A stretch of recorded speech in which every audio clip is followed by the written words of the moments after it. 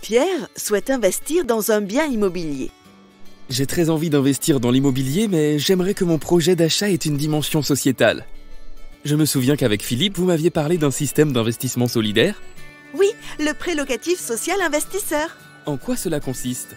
C'est une forme d'investissement euh, intelligent et un moyen d'associer intérêt personnel et intérêt général. C'est-à-dire? En faisant le choix d'un investissement à impact sociétal, tu es récompensé. Récompensé Comment ça? D'abord, tu achètes ton bien à un prix plus bas que celui du marché, donc attractif. Ensuite, l'État t'offre 50% de TVA et tu profites d'une exonération de taxes foncières pendant au moins 15 ans. Le tout en louant à un prix abordable qui assure la pérennité de ta location et une fiscalité douce. Tu comprends maintenant pourquoi on parle de placement intelligent?